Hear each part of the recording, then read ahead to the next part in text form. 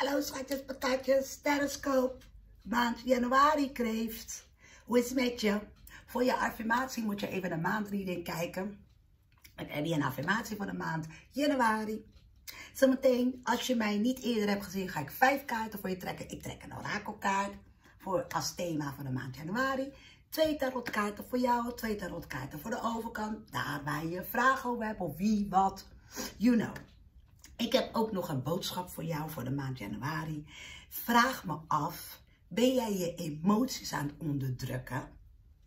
Laat het stromen, want het is echt niet goed voor je gezondheid. Misschien ben je heel fel geweest tegen iemand. Je hebt iemand laten schrikken en iemand heeft dan weer wat gezegd. Maar het was niet jouw bedoeling. Het was ook niet de bedoeling van de ander. Dus breng het rustig over, want mensen kunnen het zien of voelen dat je iets onderdrukt of dat er iets is. Uh, en als je het wil vertellen, misschien moet je die felheid, en dat is misschien, de felheid komt omdat het uh, onterecht is wat de ander doet. Dat kan ik echt voelen, te hebben. Dat, ik, ik, ja, jullie weten een beetje dat jullie mijn lievelingen zijn, dus ik, eh, misschien ben ik veroordeeld een beetje meer jullie kant op, maar ik ken kreeften redelijk goed. Ik heb zoveel om me heen. Mijn moeder is zelf een kreeft in haar maan. Dus ik, ik weet het alleen maar... Eh, het is niet goed voor je. Dan heb ik het liever dat je dan even, even kattig snauwt en het vertelt. En daarna zeg je, het is niet mijn bedoeling om je dan te kwetsen of te raken. Maar ik wil dat je me hoort. Maar niet onderdrukken, oké? Niet onderdrukken. Gaan we voor je kaart, voor je kaart. Let's go. We net maar dan doen we het nog een keer. Hmm, je denkt veel na, ik hoor veel, hmm, je kijkt veel rond en je probeert uh, hè, je houding ook aan te passen of te veranderen. Niet slecht, niet slecht, maar het is het meer richting spiritualiteit. Dan vind je ook meer antwoorden, zwaardere emoties. Hmm. Kijk eens, een nieuw leven, januari 2021. Why? Waarom? Dat vraag je dus af. Waarom is dat de beste vraag waar je jezelf kan stellen om iets nieuws te creëren of een nieuw leven, te, hè, een nieuw leven te maken, ik zeg, om gewoon opnieuw iets te beginnen. Uh, ik heb vroeger, hè, toen ik mijn uh, coachingopleiding deed, heb ik geleerd dat waarom het beste vraag is. En dan ga ik even een voorbeeld aan jullie geven. Misschien kom je dan sneller uit. Waarom voel ik me zo? Dan, en dan krijg je antwoord. Ik voel me zo, want het is uh, bla bla. Maar waarom? Waarom? Ga door tot je de antwoord hebt. En dat brengt iets nieuws in je leven. En het, brengt, het vernieuwt jou ook. Kijk eens, niet onderdrukken, maar vraag jezelf waarom. Of vraag aan degene waarom. Zodat iedereen opnieuw mag beginnen. Het heeft met opruimen te maken. Volgens mij zag ik ook al iemand anders die wilde opruimen. Is dat de waterman? Misschien heb je er wat mee. Hmm, de stier volgens mij ook. Hmm. Let's go, kreeft. Twee voor jou. Om het makkelijker te maken. Oh, wauw. Kijk, geduld. In mate, waar we net al over hadden. Je hebt de kracht. Maar de emotie de emotie. Je bent heel krachtig, want heel mijn hoofd gaat dan gewoon zo. Als ik uh, heel veel kracht voel bij een sterrenbeeld of een persoon, dan lijkt alsof ik duizelig word. Maar het is omdat ik die kracht binnen kan voelen. Ik hoop dat je je eigen kracht mag gaan voelen. En dan uh, is het helemaal opnieuw. Kijk eens, de overkant die sprong eruit. Die is ook wel slim hè, aan de overkant. En misschien daardoor heb je veel waarom vragen. En ook waarom deed ik zo? Waarom deed hij of zij zo? Waarom gaat het zo?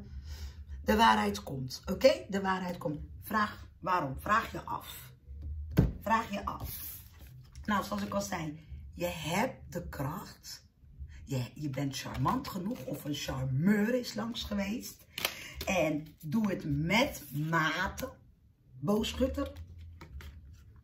Met mate. Leeuw. met mate. Misschien kwam het te charmant over en het heeft veel emoties gebracht, maar dat ben jij. Dat zal ik al zeggen, dat is een schelpprins, dat is een waterteken. Geduldig. En toonbegrip.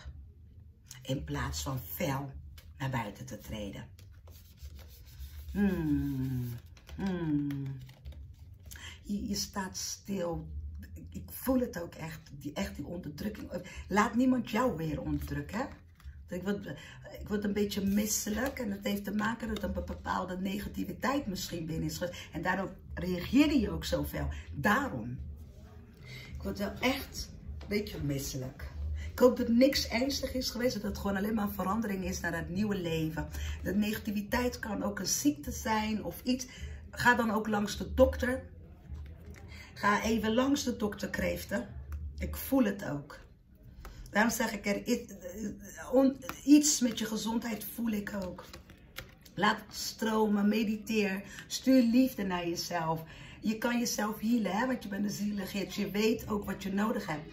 Vraag je alleen maar af wat je, waarom, hoezo. Oh ja, de studenten hier zo, die maken even lawaai. Tijdens jouw filmpje opnemen. De overkant. De overkant. Aardeteken. Heel slim. Die weet. Ik voel dat de overkant weet wat, wat, wat ze willen. En eh, ja, de beloning is ook daar gekomen. Of ik hoop dat jij het bent. Want het gaat natuurlijk over de kreeft. Maar een aardeteken of hier op aarde of degene waar je vragen over, die is heel slim bezig om de beloning te ontvangen.